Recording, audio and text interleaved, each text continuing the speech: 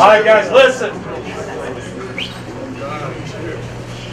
Hey, this football team had a historic win last Saturday, right?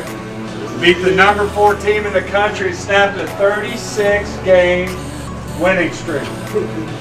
That's a brickyard victory. Congratulations to you guys. You know what I'm saying? I was trying to figure out, I, I want everybody to understand, like everybody had a piece of it. Everybody. There's no way for a hundred of us to put this brick up at once. All right, so I nominated Garrett. I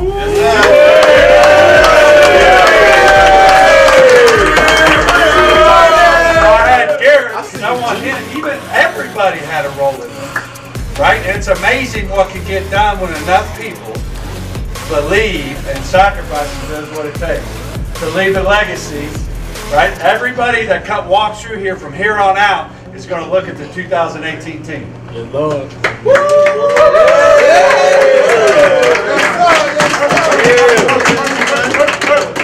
Good job, Garrett. I see you, G. I see